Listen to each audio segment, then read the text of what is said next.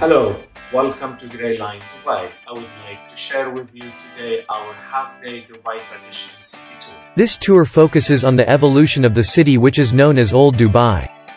We will explore Jumeirah Beach, Jumeirah Grand Mosque, Dubai Museum, Abra Station, Spice and Gold Souk. Enjoy a quick photo stop in Jumeirah Beach, where you can sight the Burj Al Arab Hotel. And take shots in Jumeirah Grand Mosque, the most photographed mosque in the Emirate.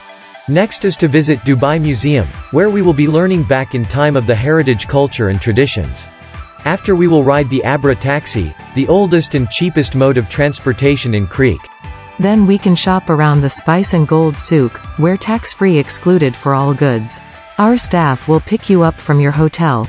And the tour will depart from the meeting point with our Gray Line bus where we offer 10 multilingual audio experience for your convenience with a professional English tour guide nor driver guide. Follow us on social media, Instagram and Facebook to know more about our tours.